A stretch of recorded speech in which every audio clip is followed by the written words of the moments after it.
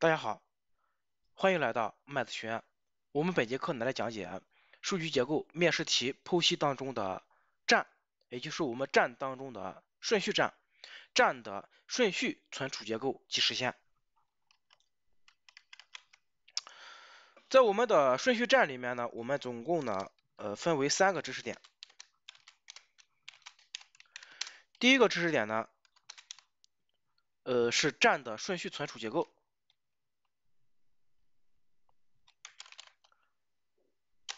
站的顺序存储结构。第二个知识点是顺序站的实现，顺序站的实现。第三个呃是什么呢？呃，就我们就讲讲解这两个两个知识点吧。这两个知识点呢，也就是说是我们这个在考试当中呢，呃，一般呃较容易出现的呃两个知识点。首先第一个知识点呢，就是我们的这个站顺序站。呃，站的顺序存储结构呢，就称为我们的顺序站，啊，就称为我们顺序站。呃，顺序站呢，它本质上是顺序表的简化，本质上是顺序表的简化。唯一需要确定的是什么呢？是用数组的哪一端来表示站底。通常的把数组当中下标为零的一端作为站底，呃，同时的话呢，复设指针 top 只是站顶元素在数组当中的位置。我们比如说呢，设存储站元素的数组长度为 stack size，则站空的时候呢，站顶指针 top 它就等于负一。占满时，站顶指针 top 等于 stack stack size 减一。入站的时候呢，站顶指针 top 加一；出站的时候呢，站顶指针 top 减一。就这么一个原理，就是我们这顺序站。好的，接下来呢，我们来看呃顺序站的实现，将呃将站的抽象数据类型定义在顺序站存储结构下。呃，用 C 加加我们来实现它这个呃它的这个类实现。由于栈元素的这个数据类型不确定，因此呢，我们采用就是 C 加加的这个模板机制来进行呃给大家进行这个实现顺序站的实现。首先呢，我们定义一个 const 型的这个变量，呃 int stack size 就是我们呃，站当中所存存储的呃就是数组长度吧，哎，存储元素的数组长度。我们这块定义的这个十呢，它只是实例性呃示例性的这个数据。当然了，大家呢可以根据实际问题呢来具体的定义，哎，具体定义。呃，接下来呢，我们来定义模板类，template。Class data type，data type，这是定义模板类。sex date。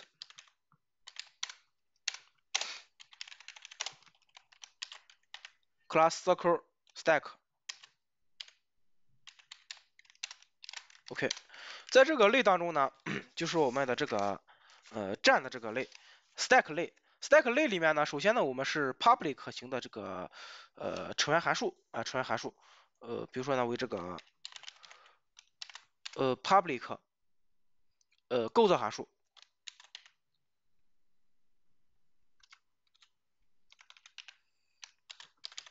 ，stack stack，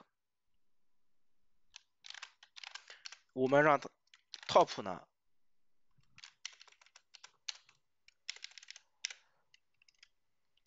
等于负一，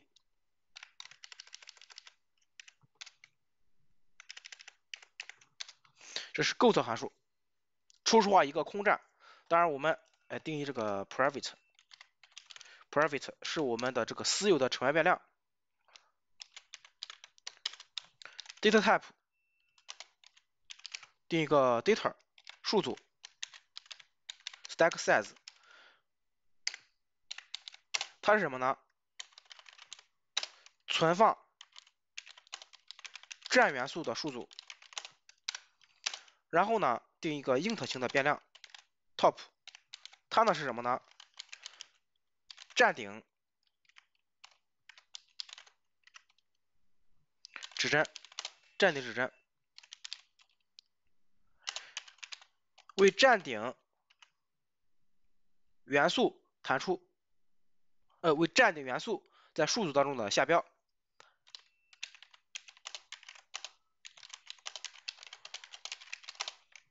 好的，接下来我们来继续来实现，呃，看一下它的这个函数，呃，构造函数完了，然后呢，吸构函数，stack stack，吸构函数呢，我们不实现呃内容，再然后呢是入站操作，将元素 x 入站，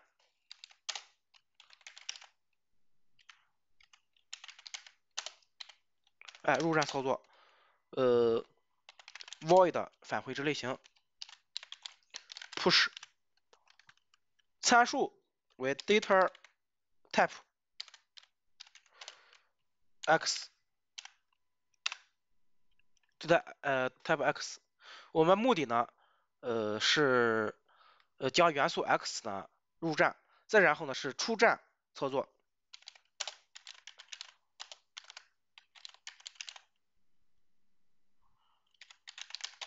出站操作，data type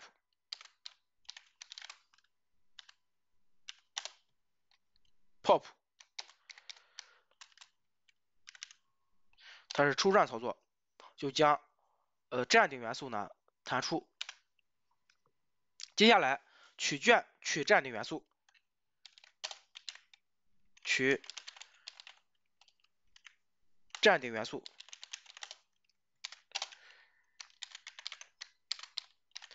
Data type get top，我们就判断 if top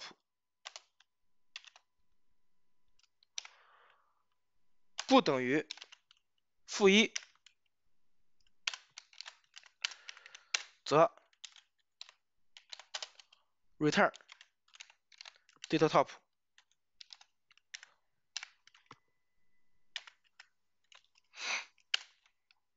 接下来还有一个函数是判断站是否为空，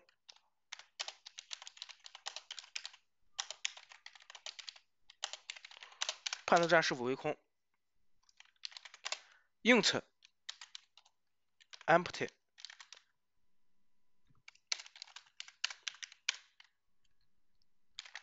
top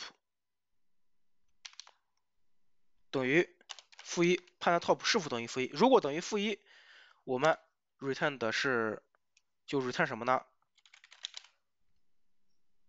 ？return 一，如果 top 不等于负一的话呢，就 return 零。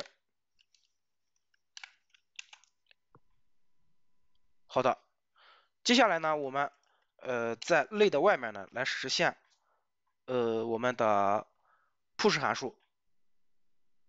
Push 函数和 pop 函数，因为什么呢？我们根据这个顺序站的这个操作定义呢，很容易写出顺序站的这个基本操作算法，并且呢，它的这个时间复杂度呢，呃呃均为这个零一，呃，包括这个一是这个站的初始化以及站的这个操作。首先呢，我们来看啊，其实它这个呃 push 跟 pop 函数。template class data type，然后呢是返回值类型 void 类名 stack stack 类型 data type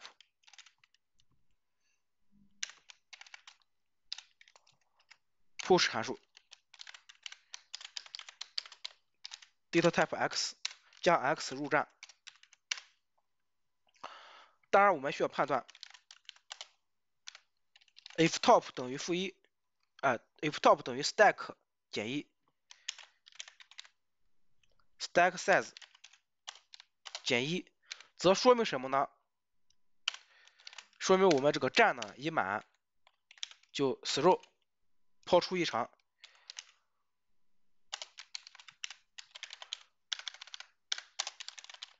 上亿就是已经溢出了，我们这个站呢已经满了，让这个 data 加加 top 等于 x，这是。我们不等于它的时候，在外面让它把这个 x 呢入站。OK，这是入站函数。然后呢，我们来看出站。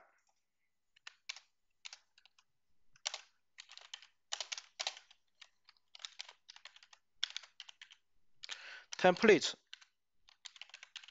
class data type 返回之类行为，data type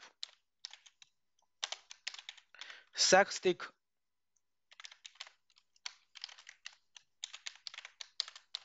data type，pop，当然我们也是一样，判断，if top 等于负一，则说明什么呢？下亿了，这里面。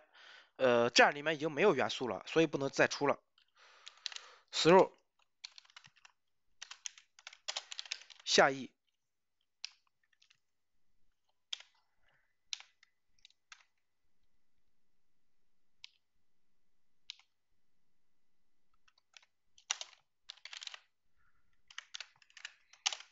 OK，如果有的话呢，我们就让 x 呢。呃我们呃就定义一个 x data type data type x，让 x 呢等于 data 这个 top 减减，然后呢 return x。好的，这是我们的出站。